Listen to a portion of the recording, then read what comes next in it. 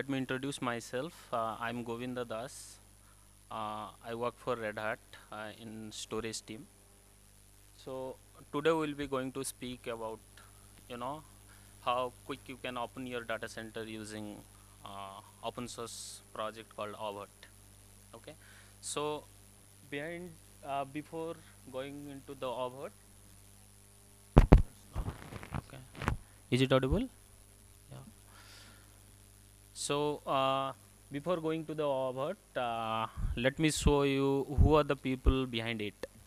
Okay, uh, so here you can see the board member of oVirt like uh, Red Hat, Cisco, Intel, all the big people are over here. So from here you can guess that uh, how important the project is and uh, so underlying the oVirt open source project Red Hat has you know enterprise level uh, project called uh, RHEV Red Hat Enterprise Virtualization.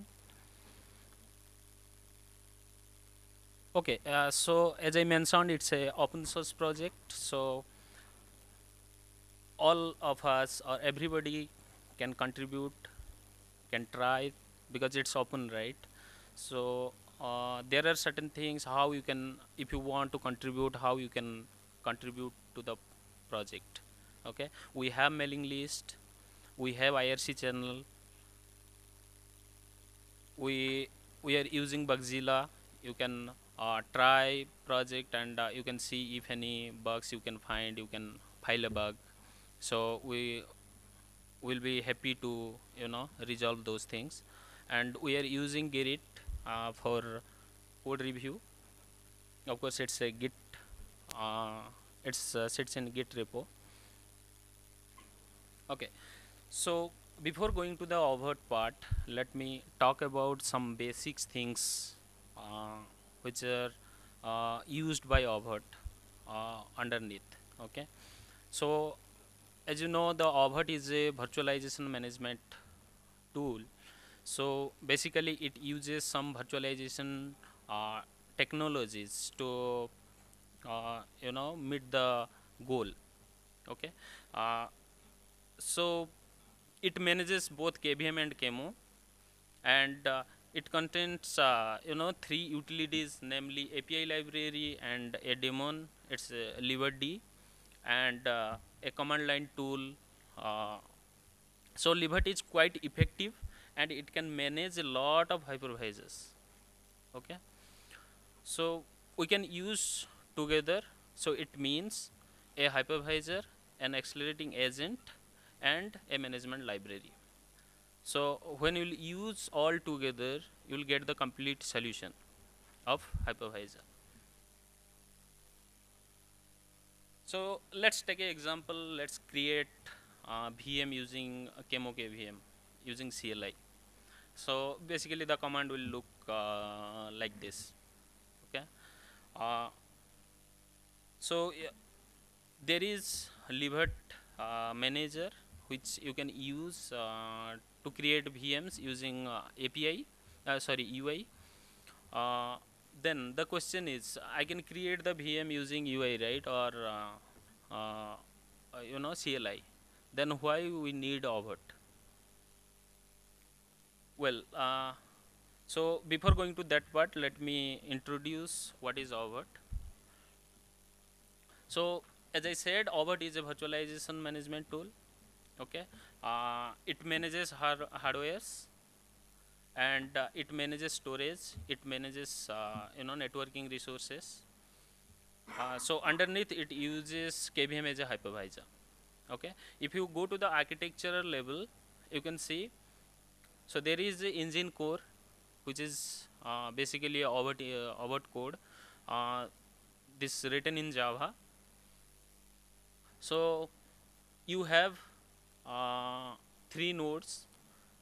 There is the uh, agent, another agent is running called VDSM, okay, uh, which will talk to host, the physical host, and which will give the response to the oVirt engine.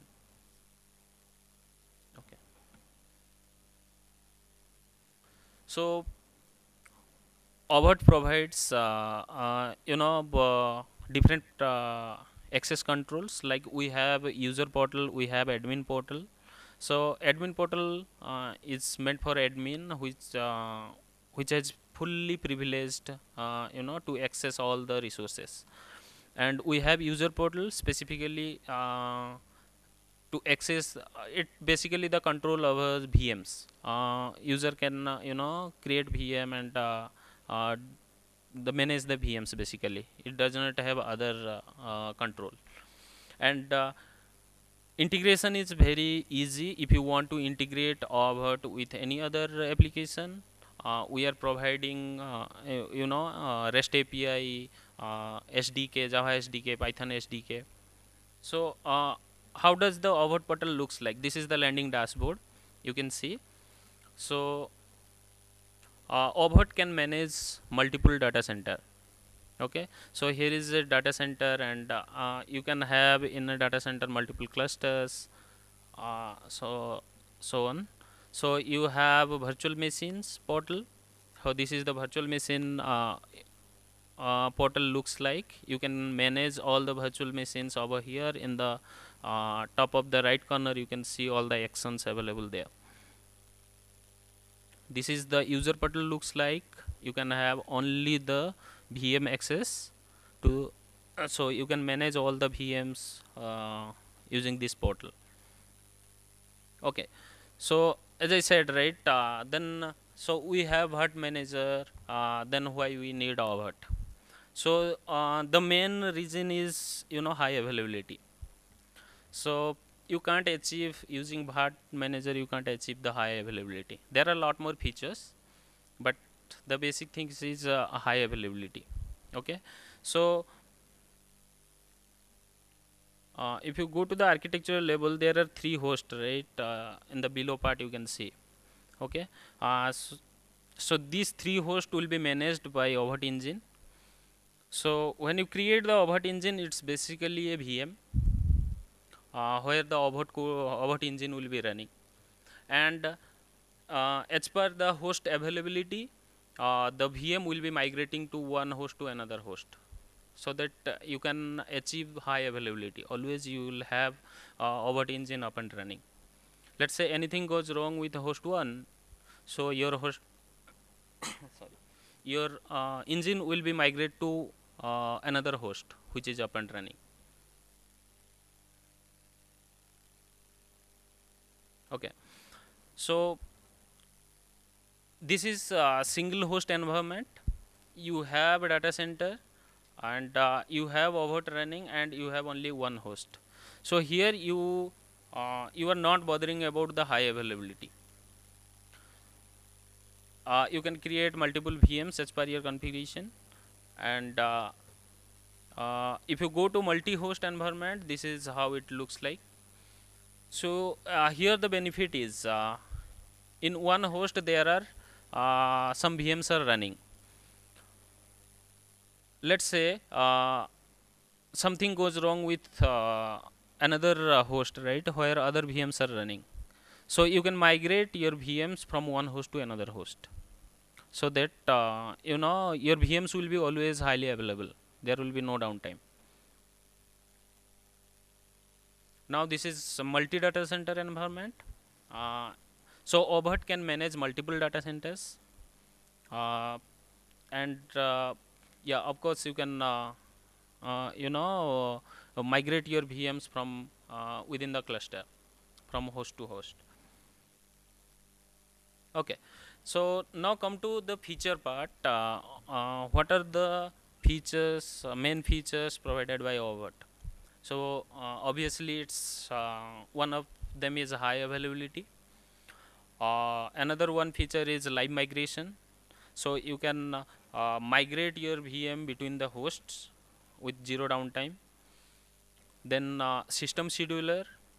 So you can schedule uh, you know uh, the scheduler will be running and which will always checks the uh, you know load balance of the VMs uh, means let's say uh, you have three node cluster okay and uh, uh, there are certain VMs are running in each cluster, right? So let's take an example.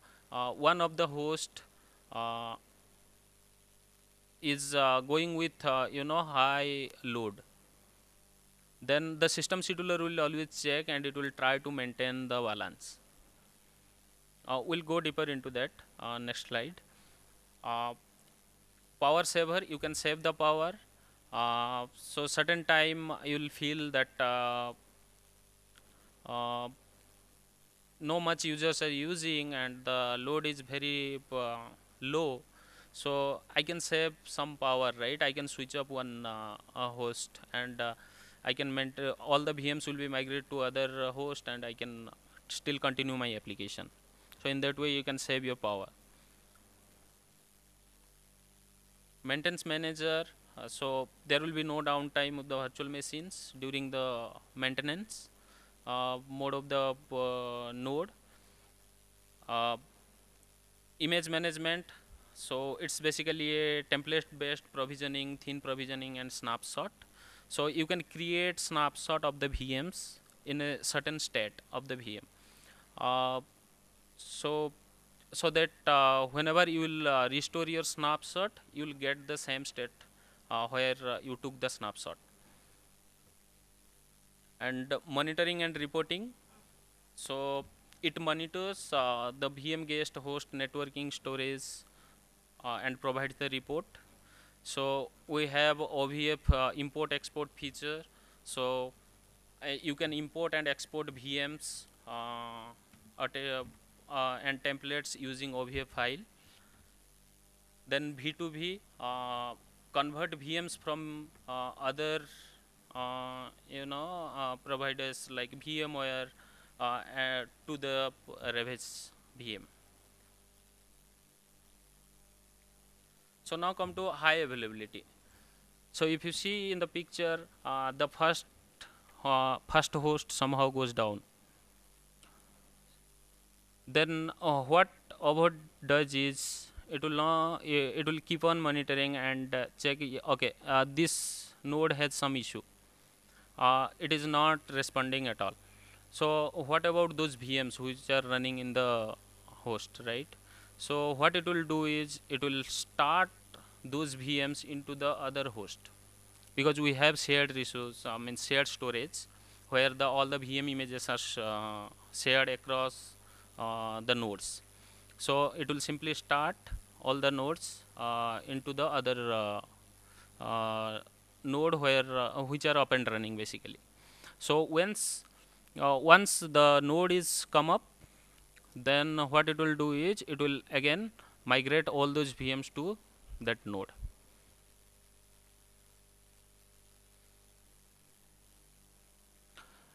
Uh, live migration. Live migration means uh, all the nodes are up and running but I want to migrate uh, some uh, means VMs from one node to another node without uh, you know any uh, interruption any uh, anything should not stop basically. Whatever application is running it should not stop.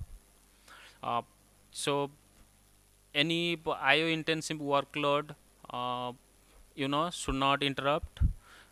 So everything should go well uh, as before but in between the migration will uh, happen. Between one node to another node. So this is the uh, you know system scheduler. So in the first picture you can see uh, one of the node is in critical stage. It goes up to 90 percent of the load uh, or CPUs right so what system scheduler will do, it will try to balance the load between the uh, host what uh, whatever exists in the cluster. So what it will do is it will uh, move uh, certain load to other uh, which has low load. Let's say this is other thing other node has 30 percent right. So it will move some load and it will maintain 60 percent 60 percent so in that way system uh, scheduler will maintain the workload so this is the power saver so you can uh, once all the VMs will uh, migrate. So uh, one of the node you can shut down or you can move into maintenance uh, and uh, you can do whatever means required things. So another thing is notification service. oVirt has inbuilt uh, notification service. We are using Nagios for that, the framework.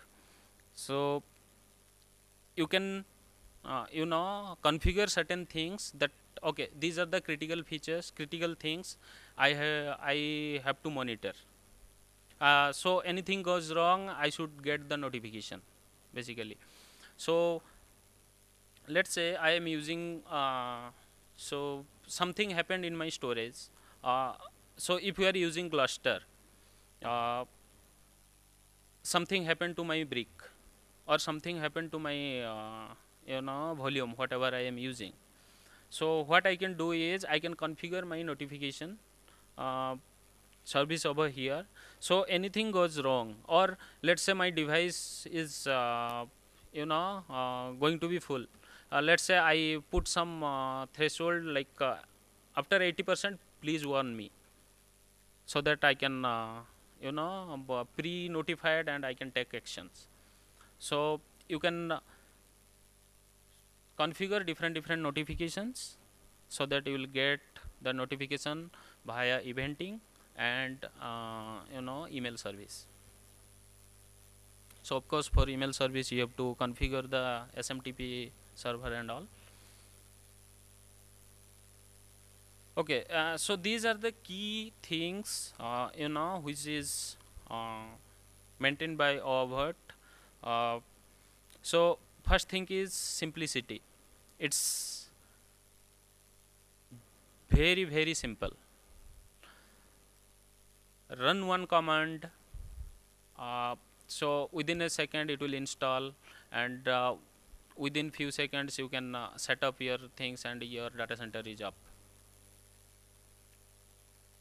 stability uh, we have functionality so there are a lot more functionalities which are basically solving your real-time problem.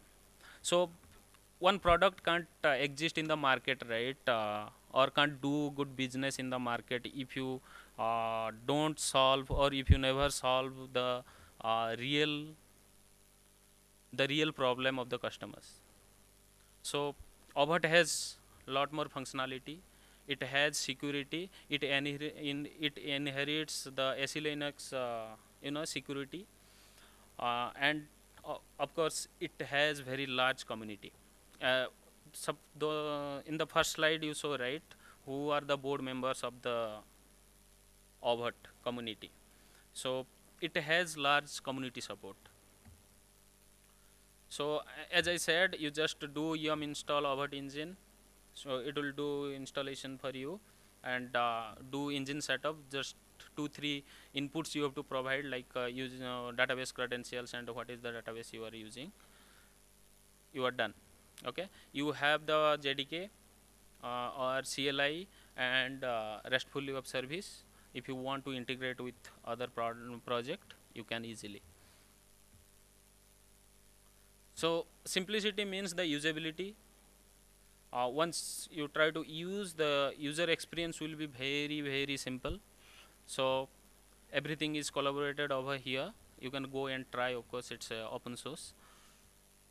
Uh, as uh, you know stability. So Red Hat has downstream uh, product from oVirt it's a RHEV Red Hat Enterprise uh, virtualization. So it's pretty much stable now functionality. Functionality we have a lot of functionality. I put some of them. Uh, let's say you disaster recovery. So grep session uh, you know uh, live migration so whatever i talked. So all of the features are available. So you can do disaster recovery. I uh, i want to take care my data right? Uh, uh, customer data i have to take care.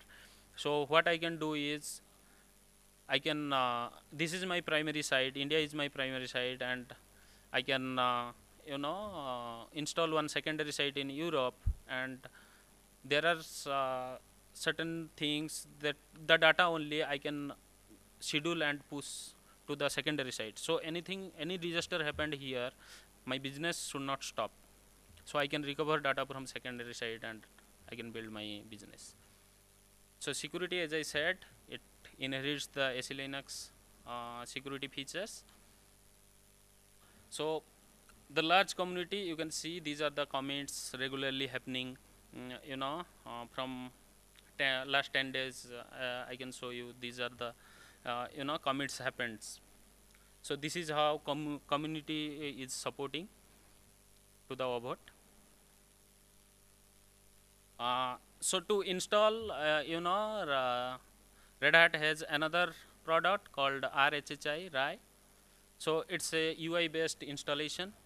It's very very simple. Uh, so you guys can go and uh, see. I have uh, uh, some setup in booth. You can see of uh, that all as well. Okay. So any questions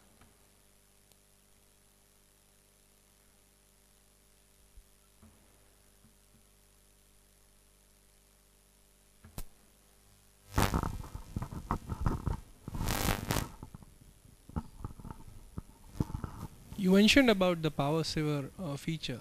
Can you, uh, so how does it work? Does it require manual uh, shutting off the, of the? can you speak louder Okay, is it audible? yeah Uh, so you mentioned about the power saver option, uh, power saver feature. Like when a node is inactive and you can uh, oVirt can man- oVirt can tell you this node to be shut down. How does it f- function? I mean, does it require manual uh, shutdown of the node or how does it work? Uh, no, so uh, that is what uh, you can, uh, you know, uh, whenever you are monitoring your infrastructure, right, or application, so you can see the utilization of the CPU or any any high load into the system, right?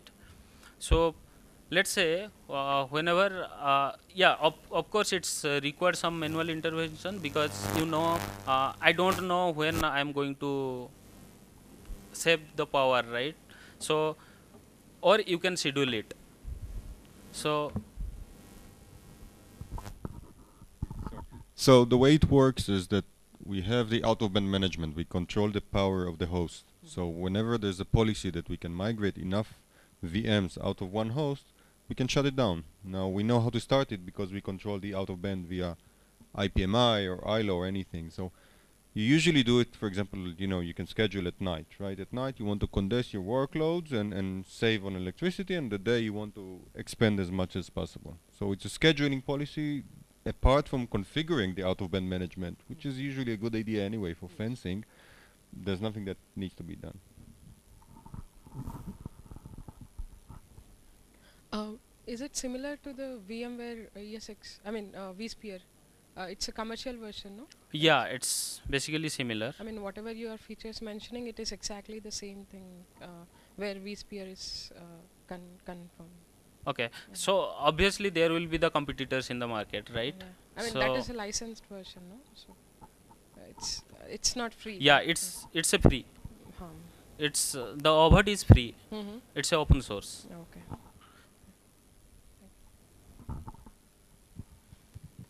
said it's out of band, so you depend on the vendor uh, out of band like iDRAC or ILO, or you have your own out of band. Yeah, we, we support all the fence agents. So there's a package package of fence agent, and you configure, you know, or modify your own. Um, but it's the same package that, for example, Pacemaker, the high availability has, um, and it is updated to support all, you know, Dell and HP and, you know, whatever they come up with new generation, it is, you know, supporting them.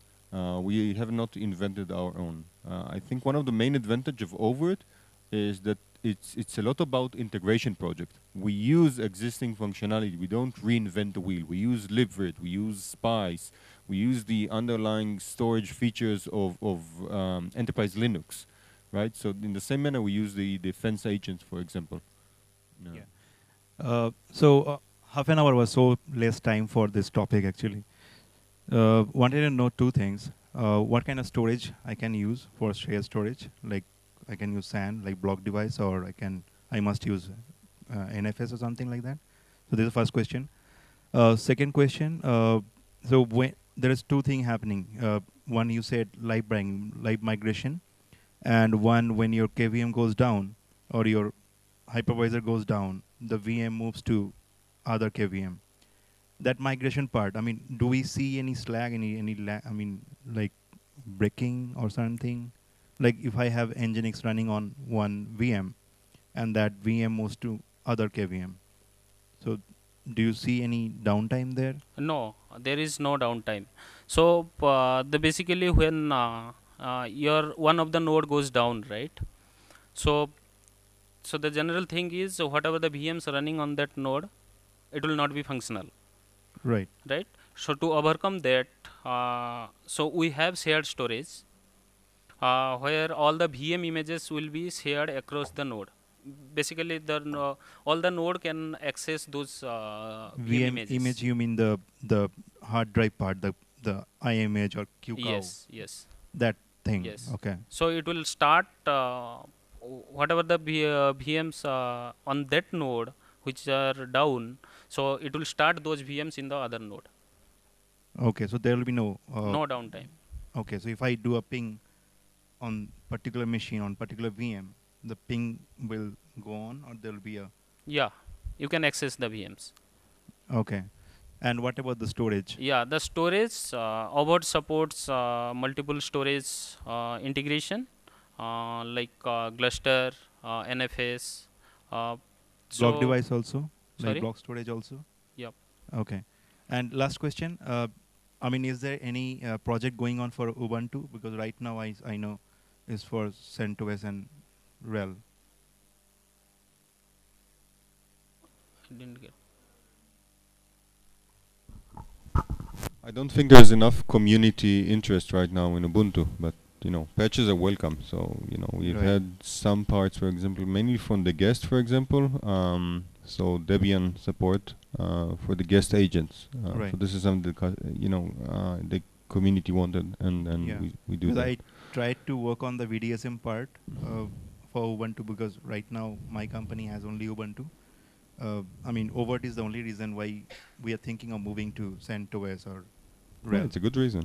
yeah, I mean, if I have any, you know, uh, some workaround or something, we will not go.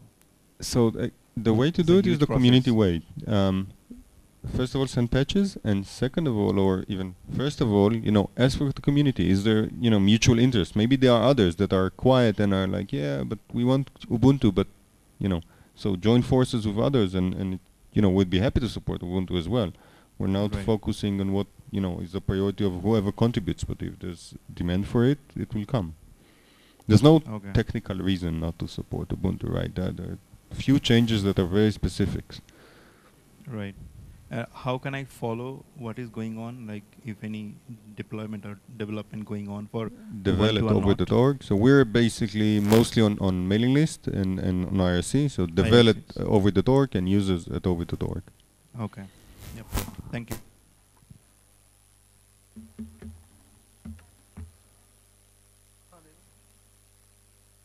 We use the underlying storage features of, of um, enterprise Linux, right? So in the same manner, we use the defense agents, for example. No.